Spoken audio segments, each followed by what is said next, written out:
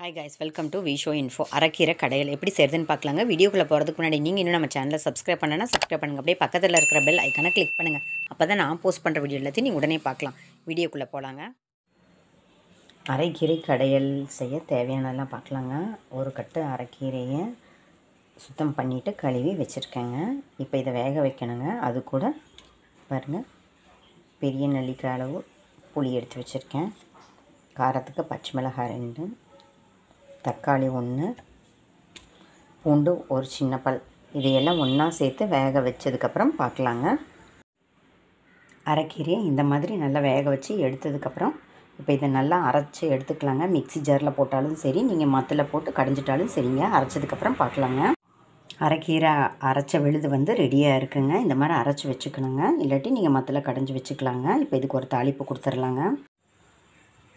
அரைக்கீரைக்கு ஒரு தாளிப்பு கொடுத்துர்லாங்க ஒரு ரெண்டு டேபிள் ஸ்பூன் எண்ணெய் சேர்த்துருக்கேன். பேனை ஹீட் பண்ணிவிட்டேன்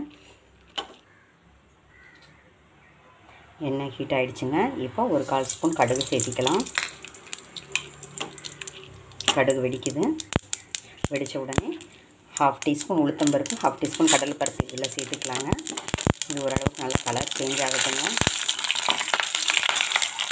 லைட்டாக கலர் சேஞ்ச் ஆகிடுச்சுங்க சிகப்பு மிளகாய் ஒரு டேஸ்ட்டுக்காக இப்போ நான் உடச்சி இதில் சேர்த்துக்கிறேங்க. பாருங்கள் பருப்பெல்லாம் செவந்த உடனே சின்ன வெங்காயம் கட் பண்ணி வச்சுருக்கேன். ஒரு கால் கப்பு. அதை இதில் போட்டு நல்லா வதக்கிக்கலாங்க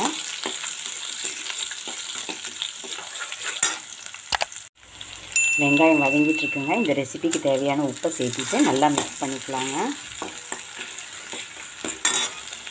ஒரு கால் ஸ்பூன் பெருங்காயத்தூள் சேர்த்துக்கலாங்க. இப்போ வெங்காயம் நல்லா வதங்கிடுச்சுங்க. இப்போ நம்ம அரைச்சி வச்ச அரைக்கீரை இதில் சேர்த்துக்கலாங்க. பாருங்கள் அரைச்ச அரைக்கீரை விழுது இதில் நான் சேர்த்துக்கிறேன். இதை போட்டு நல்லா மிக்ஸ் கொடுத்தா போதுங்க. ரொம்ப நேரம் கொதிக்க வைக்கணும்னு அவசியம் இல்லை. ஏன்னா வேக வச்ச கீரை தான்.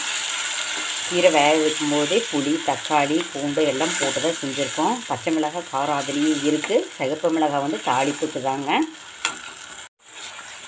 பாருங்கள் சூப்பராக நம்மளோட அரைக்கீரை கடையல் ரெடி ஆயிடுச்சுங்க. இதுக்கு எண்ணெய் தாங்க ப்ரிசர்வேட்டிவ் இந்த அளவுக்கு எண்ணெய் இருந்தால் தான் நல்லா இருக்கும்.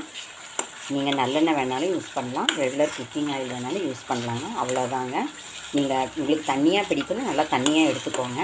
எனக்கு வந்து இந்த மாதிரி பிடிக்கும். அதனால் நான் இப்படி எடுத்துருக்கேங்க அவ்வளோதாங்க ரெடி ஆகிடுச்சு இப்போ இதை ஒரு பவுலுக்கு மாற்றிக்கலாங்க பாருங்கள் சூப்பராக அரைக்கீரை கடையில் ரெடி ஆகிடுச்சிங்க டேஸ்ட்டு பார்த்துக்கோங்க சூடான சாதத்தில் நெய் ஊற்றிட்டு இந்த மாதிரி நம்ம நெய் ஊற்றிட்டு அரைக்கீரை கடைஞ்சது இருக்குது பார்த்தீங்களா அதை வச்சு சாப்பிட்டோம்னா செம்மையாக இருக்குங்க. ட்ரை பண்ணி பாருங்கள் சிம்பிளான ரெசிபி தான். கூடவே சத்தான ரெசிபிங்க ட்ரை பண்ணி பாருங்கள் சூப்பராக செம்மையாக இருக்குங்க. என்னங்க இந்த ரெசிபி உங்களுக்கு பிடிச்சிருந்தா லைக் பண்ணுங்கள் ஷேர் பண்ணுங்கள் கமெண்ட் பண்ணுங்கள் ஞாபகமாக சப்ஸ்கிரைப் பண்ணுங்கள் ஓகே பாய்